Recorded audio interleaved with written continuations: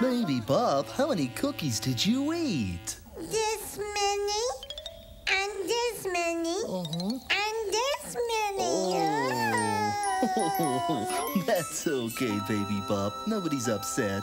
And next time, you'll remember to share. Uh-huh. Poor baby Bob. she's really feeling sad. But music always makes her happy.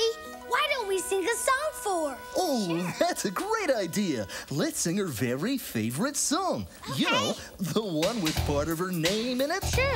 Oh,